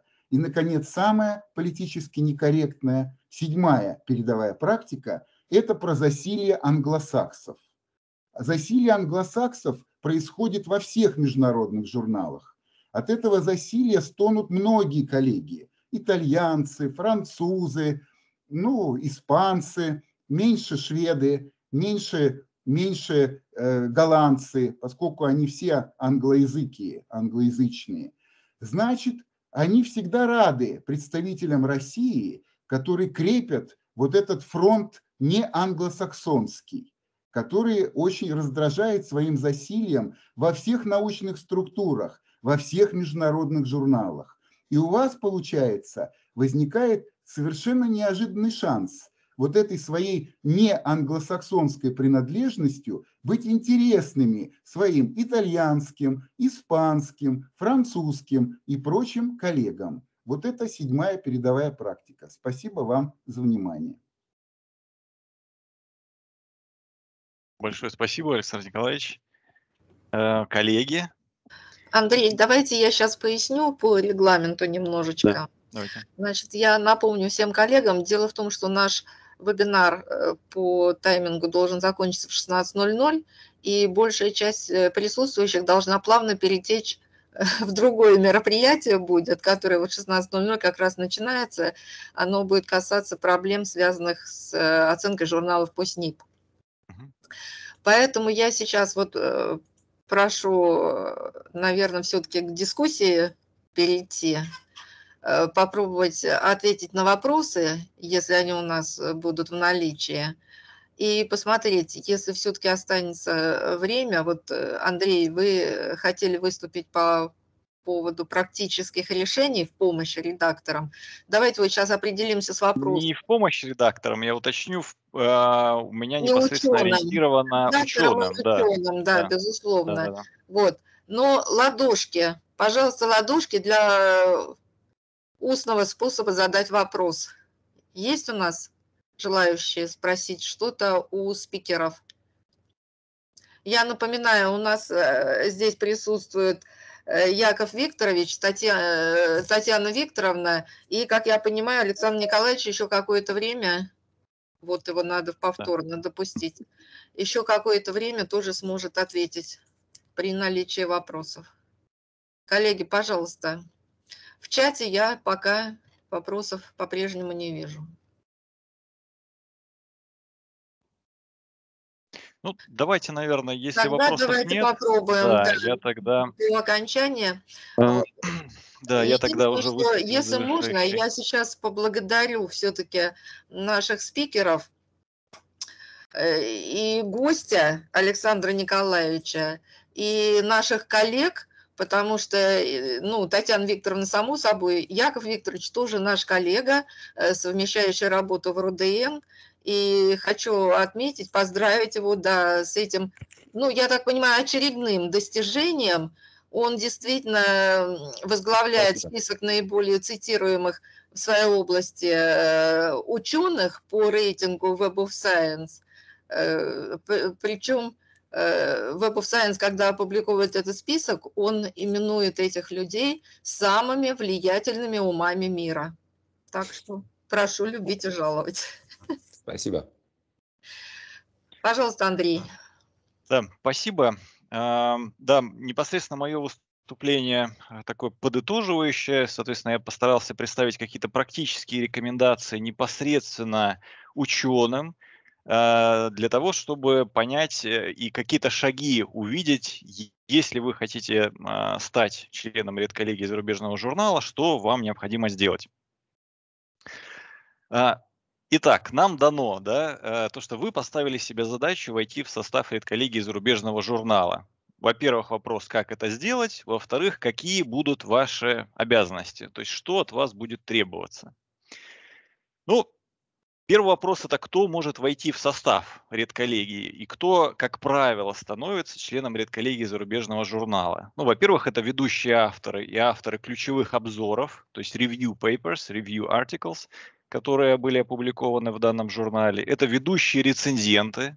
Опять же, для данного журнала, если вы очень активно рецензируете работы для определенного журнала, вам могут предложить войти в редколлегию, в состав редколлегии журнала, базируясь на вашей активности, на проработанности ваших рецензий и так далее, на их качестве. В-третьих, это бывшие приглашенные редакторы специальных выпусков, то, что нам э, в том числе рассказывал Александр Николаевич. И, а, в-четвертых, рекомендуемые ученые текущими членами редколлегии. То есть текущие члены редколлегии могут порекомендовать какого-то ученого войти в состав редколлегии журнала. Например, э, в рамках выступления на какой-то конференции, общения, личного знакомства, знакомства с работами другого ученого и так далее. Что отражает ваше соответствие журналу? Помимо всего прочего, да, то есть э, вас заметили за счет ваших публикаций, за счет рецензирования и так далее. Во-первых, насколько вы соответствуете общему охвату журнала. его тематики. Во-вторых, ваша экспертность покрывает одну из тематик журнала, в том числе тематик перспективных, которые журнал в недавнее время начал развивать. Требуется специалист по данному направлению, соответственно, могут дополнить вами текущий состав редколлегии. Вы представляете ведущую научную организацию, поскольку журналы, конечно, заинтересованы в включении в состав редколлегии ученых, которые покрывают ведущие организации по данному направлению. И вы публикуетесь в журналах, как правило, более высокого уровня, чем тот журнал, э, на который вы ориентируетесь, в который вы хотите войти. Также, конечно, помимо редакции, издатель обращает внимание и участвует в процессе выбора э, членов редколлегии, обращается внимание на то, кто публикуется в журнале за последнее время. Есть такая, опять же, статистика, какие авторы хорошо читаются и хорошо цитируются. Э, на это обращается внимание, и кто оказывает влияние в данной области, публикуясь на данный момент в других журналах, может быть, другого издательства. Опять же, на это обращают внимание, и вам могут предложить войти в состав редколлегии. Если мы говорим про журналы издательства «Эльзевир», то, э, возможно, вы уже знаете, у нас есть так, так называемая система Editorial Manager, которая помогает редколлегии работать непосредственно с э, авторами, направлениях на рецензирование и так далее. Э, так вот, отчеты из Editorial Manager показывают не только активных текущих членов редколлегии, но и также потенциальных новых членов редколлегии, как правило, из числа рецензентов. И основная причина поиска новых членов редколлегии, конечно, это ротация состава, э, и на основе их текущей деятельности, как правило, э, каждые 2-3 года, а также поиск специалистов по новым направлениям развития журнала. Вот здесь представлено э, несколько замечаний, э, высказываний главредов э, журналов, э, эльзевировских журналов. Вот, например, главред журнала Information Processing Management говорит, что когда кто-то делает отличную рецензию для журнала, я приглашаю их в редколлегию. Вот главред журнала Tourism Management Perspectives дал ну, более такой расширенный э, ответ – Э, вот что он ответил, да, поскольку моя цель быстро обработать рукопись, мне нужны люди, на которых я могу положиться. Поэтому вместо того, чтобы приглашать и выбирать из впечатляющих резюме, я пошел с людьми, которыми, с которыми работал, людьми, на которых я могу положиться, да, которых знаю и что они надежные. В моем электронном приглашении этим людям были изложены мои ожидания от активной редколлегии. Это означает, что они могут рассчитывать на то, что они будут много рецензировать, быстро рецензировать, а также давать конструктивные комментарии. Я также намеренно ограничил назначение сроком на один год, чтобы я мог исключить тех, э, кто ну, в данном случае недостаточно активен. Я также хотел разнообразную команду с точки зрения возраста, пола, этапа карьера, э, в том числе и э, географического распределения. Эти люди должны довольно хорошо владеть английским языком, тем не менее, и публиковаться в приличных журналах. И это, конечно, должны быть люди, не академические машины, да, а люди, которые работают коллективно, которым журнал не безразличен и, соответственно, которые э, готовы вовлекаться. Это вот такие комментарии от главредов журналов. Ну, теперь э, относительно вхождения в редколлегию через лицензирование. Как мы с вами видели, это один из наиболее часто распространенных э, путей вхождения в редколлегию журнала. То есть э, наиболее распространенный способ – это получить приглашение от журнала на рецензирование. Можно благодаря своей видимости как специалиста в данной области. И, соответственно, вас приглашают сначала в качестве рецензента, вы активно и успешно, без задержек рецензируете для журнала, и впоследствии вам могут предложить уже непосредственно войти в состав редколлегии. И э, здесь уже приглашение к рецензированию основывается на вашем авторском профиле, на вашем участии с докладами в профильных научных конференциях и, конечно, вашу активную роль как рецензента для других журналов, то, что отмечается в различных э, системах. И вы, как правило, просто получите э, письмо на свою почту, на э, почту, которую вы указывали в качестве корреспондирующей э, адреса в ваших публикациях. Второй момент – это то, что вы можете сами заявить себя в качестве э, такого волонтера для рецензирования. Э, в Elsevier есть специальный э, ресурс, э, Reviewer Hub, в котором вы можете зарегистрироваться. Найти журнал, который вам интересен, и подать заявку на то, чтобы выступить там рецензентом. И обратите внимание, здесь есть профиль, который вы заполняете, и профиль, соответственно, покажет э, редакции, насколько они могут быть вас заинтересованы. И после того, как вы прорецензируете, во-первых, сохранится ваша вся история, э, и, соответственно, вы также получите различные сертификаты о рецензировании. Ну, вот, допустим, э, в моем случае это журнал Cities и там ряд других журналов. Во-вторых, вхождение в редколлегию через приглашение к написанию обзорной статьи. Это очень часто, поскольку обзорные статьи или review article, они, как правило, принимаются непосредственно по приглашению редакции. Либо же через редактирование тематического выпуска.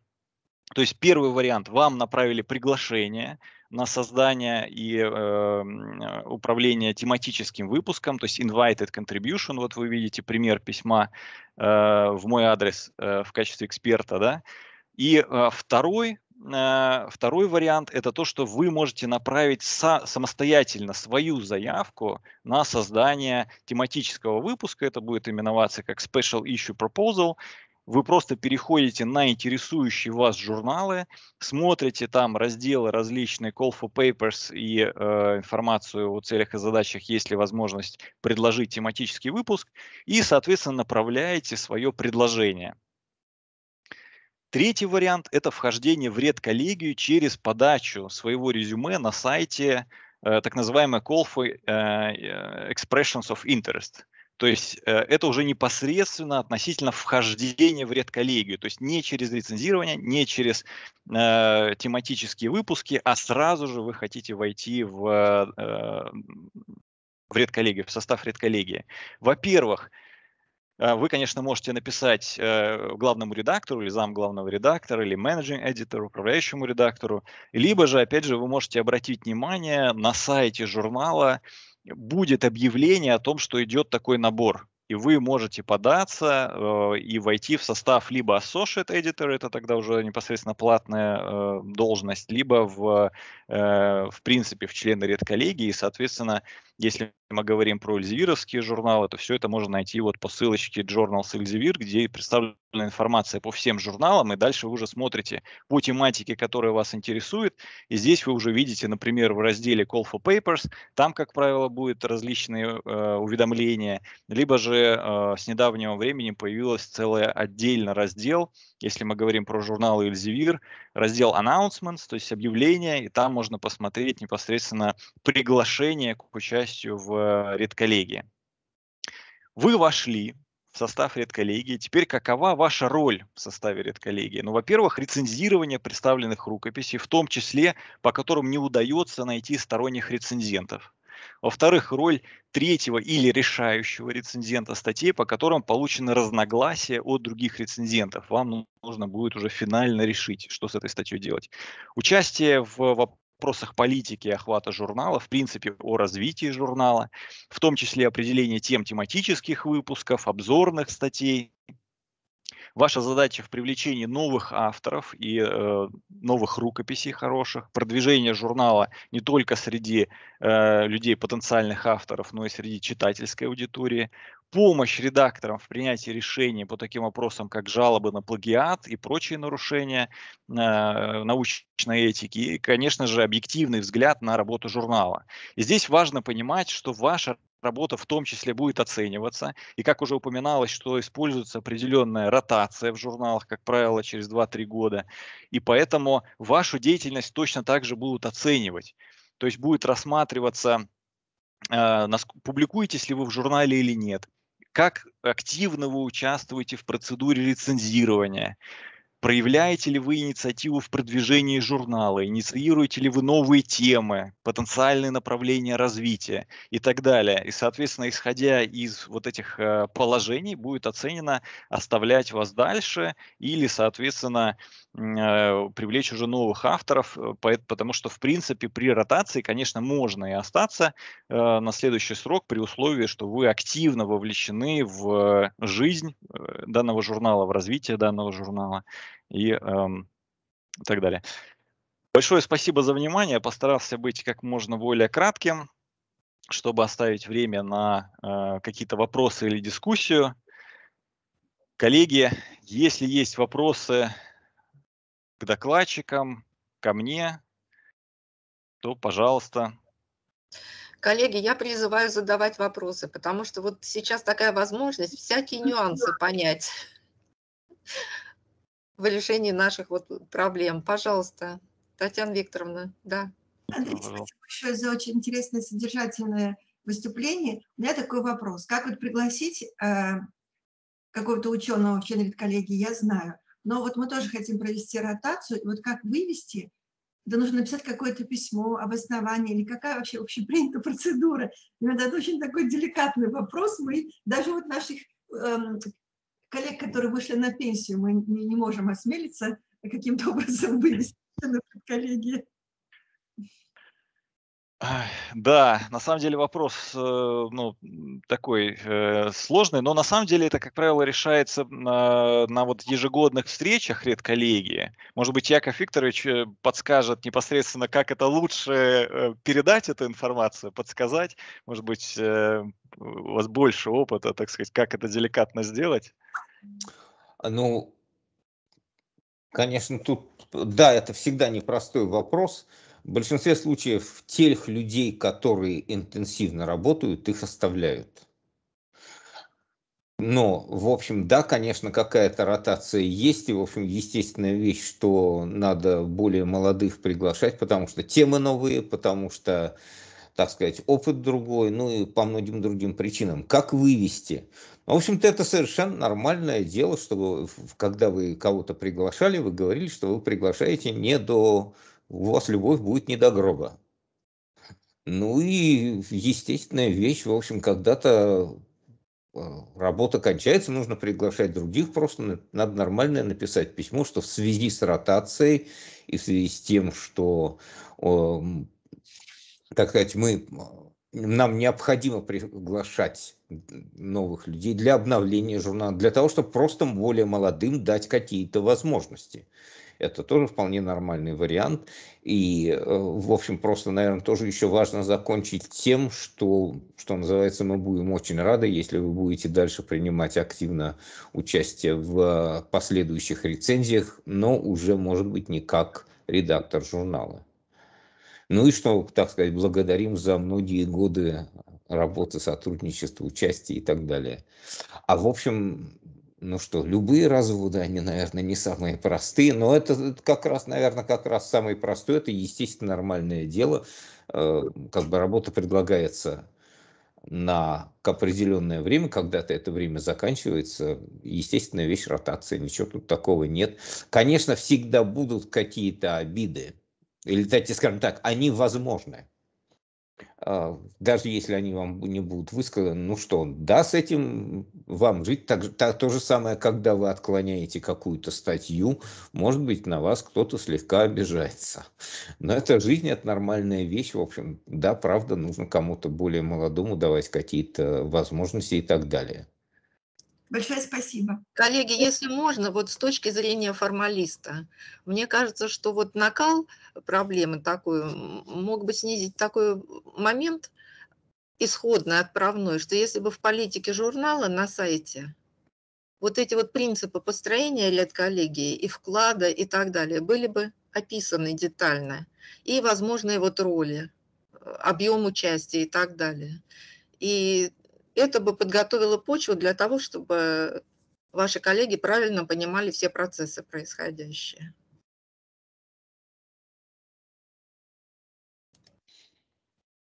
Да, да, согласен. Будем думать, да, спасибо большое. А, можно еще короткое замечание с моей стороны. Вот что мне понравилось, как в, в общем-то, в выступлениях всех участников Татьяны Викторовны, Александра Николаевича и а, Андрея Михайлова, что, в общем-то, все говорили со, скажем так, со страстью, с желанием.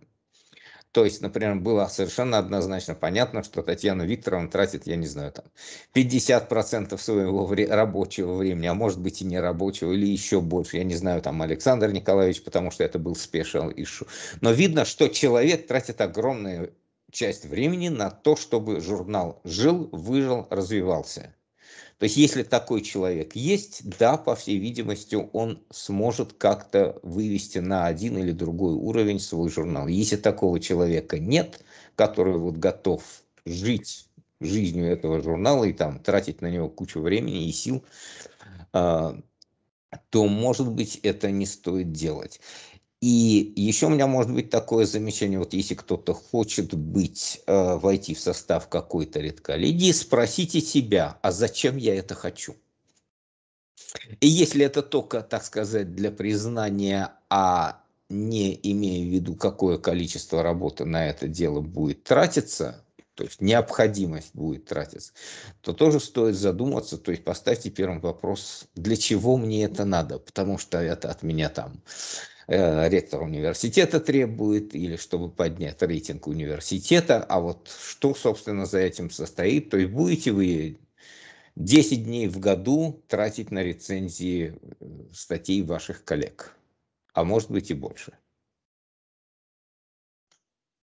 Да, коллеги, я действительно тоже намеренно упустил э, этот слайд, этот вопрос. Действительно, э, очень важно понять для себя, зачем потому что это действительно большая работа, и это должна быть ваша личная заинтересованность в развитии данного направления.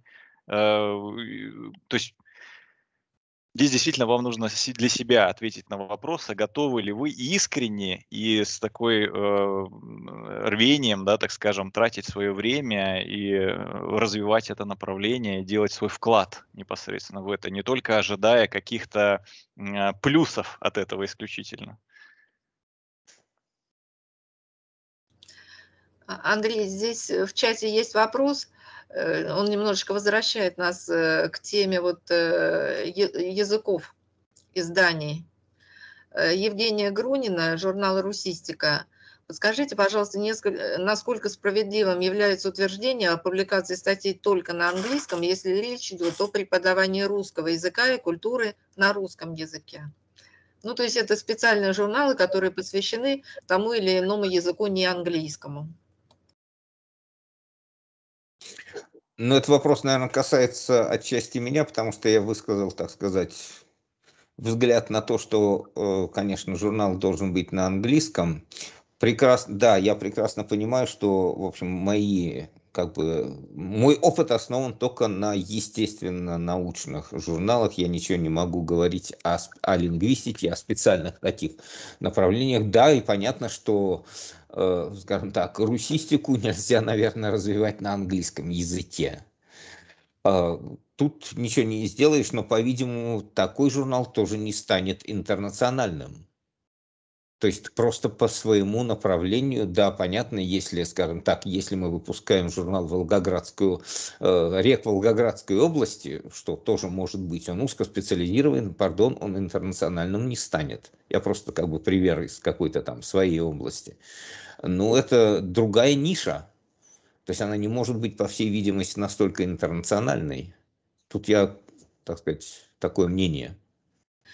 Яков Викторович, и да, и нет, потому что вот в частности русистика у нас вошла в Скопус, и она э, принята именно как журнал, делающий вклад в, изуч... Э, в изучение, так сказать, проблем русского языка конкретно.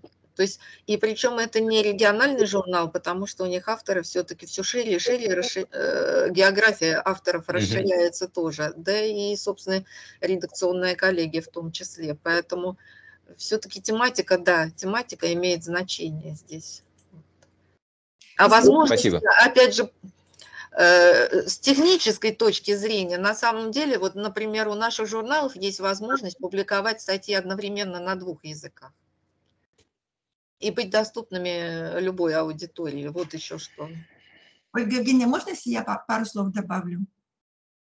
Да, конечно, конечно. Это очень больной вопрос и для нашего журнала «Лингвистика». Я уже вскользь сказала об этом, что мы и э, к большому сожалению, перешли на англоязычное название, потому что uh, Russian Journal of Linguistics, он Russian, да, но это были свои причины, чтобы собрать все цитирования в одно место. Но что касается языка, то я постоянно повторяю, что мы никогда не откажемся от русского языка и полностью никогда не перейдем на английский. Я это на всех совещаниях говорю, потому что все-таки это мы включаем и русский язык, и русскую лингвистику.